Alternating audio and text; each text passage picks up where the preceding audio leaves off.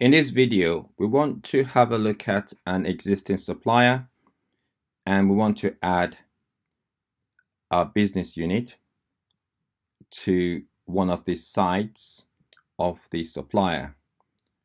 So we're going to use our employee that we have created and also the employee would already be assigned certain roles. One of the roles that allows the employee to be able to access the supplier details is the supplier administrator and the employee would also have been a procurement agent. So Bill Pears is our employee, so I'm just going to sign in as Bill. So enter username and password and click on the sign in button. And this will bring you to the springboard. So I'm going to go to procurement and then I'll select suppliers. So next I'm going to search for my supplier. Supplier that I want to review is called Lee Supplies. So let me just type in part of the name and you can see that Lee Supplies is displayed. My supplier called Lee, I can actually mark this as a favorite and there are certain information that I can see at a header level which includes the business relationship, the name of the supplier, supplier number, organization type, creation date, source, and so on. And you have at the header level, you have additional information like uh, organization information, financial profile, and if there's any business classifications, there will be some information about that as well. So we can see that small business, liability insurance, we've got things like the expiration date and some other information about the business in the business classifications tab. All the information that is entered at a header level relates mainly to the supplier as a whole. So if I go to products and services, I can see the products and services categories that are assigned to the supplier, tax information, allowed tax applicability,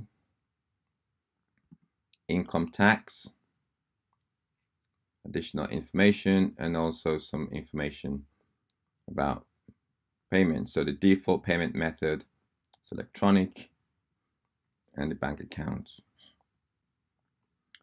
So under the addresses, you'll see there's quite a few addresses for my supplier. I'm going to use this site.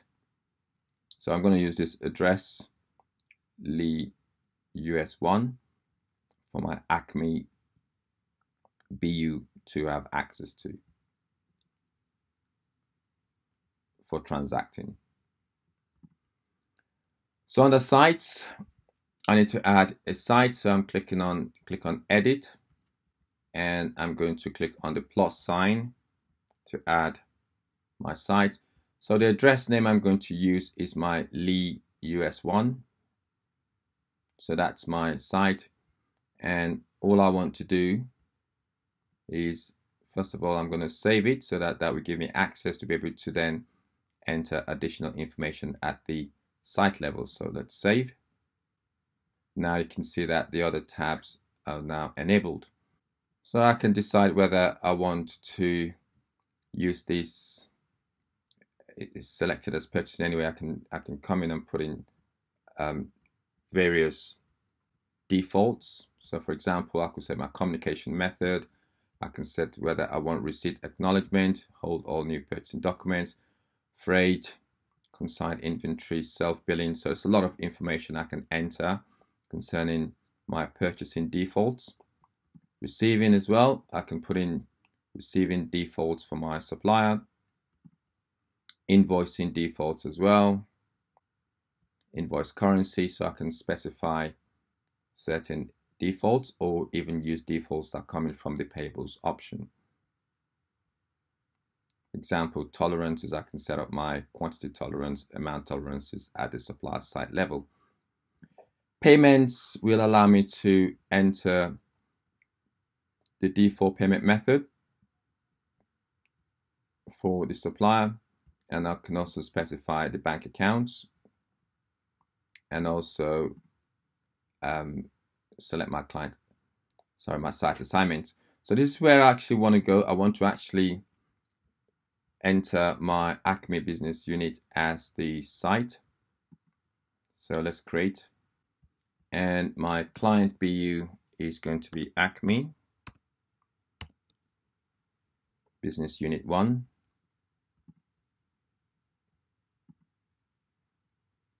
And that would default my bill to BU.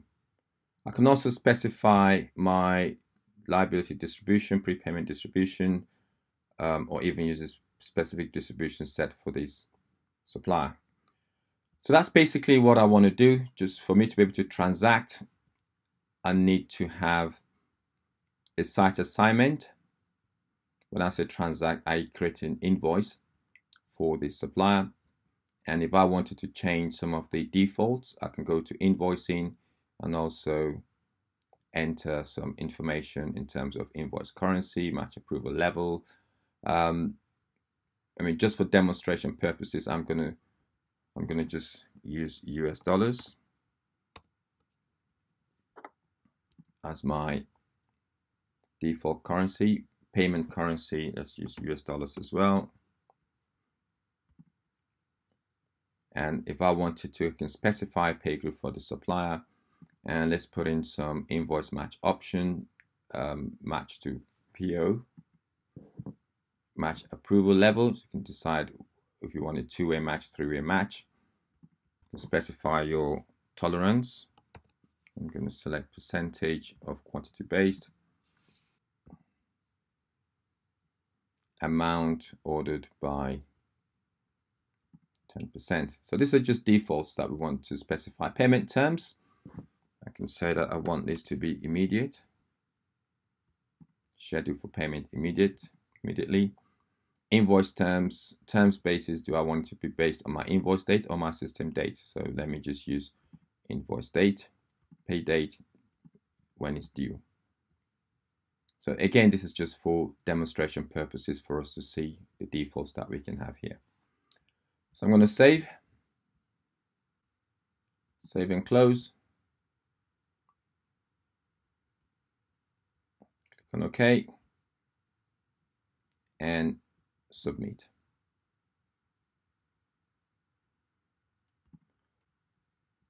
So that's how to create my supplier and add in a site with access to the business units using my site assignment.